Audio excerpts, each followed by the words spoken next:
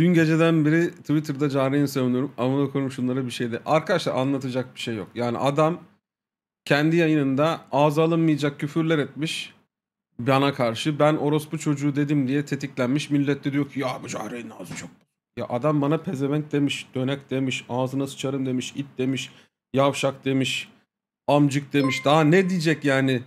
Bana bunları diyene ben orospu çocuğu derim. Bu kadar basit. Her devrin adamı demiş. Buradan yaptığı kazandığı çıkarlarla villa aldı demiş. Ya söylediği hiçbir şey doğru değil ki. Bunların hepsi iftira. İftira atan orospu çocuğudur. Tetikçi demiş. Anladın mı? Of. Yani ondan sonra çıkıyor diyor ki ben bu işlerden para aldı demedim. Geri vites yapıyor orospu çocuğu. Geri vites yapmayacaksın orospu çocuğu. Sen orospu çocuğusun.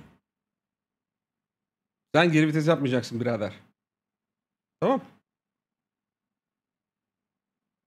Sizin Karşıma Kira ne zaman dikilemezsin falan abi? demiş bu arada. Abi güncellendi kira ya.